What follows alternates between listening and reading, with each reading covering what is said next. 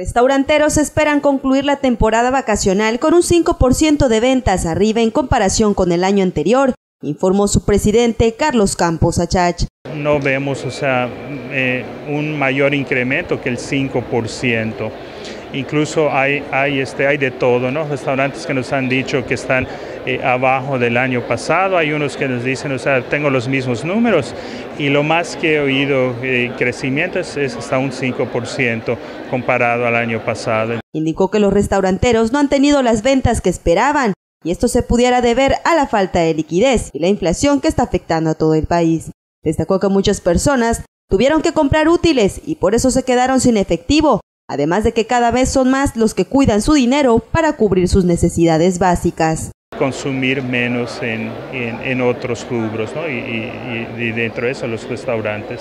Con imágenes de Antonio Ordóñez, Georgina Baselis, Notivisión.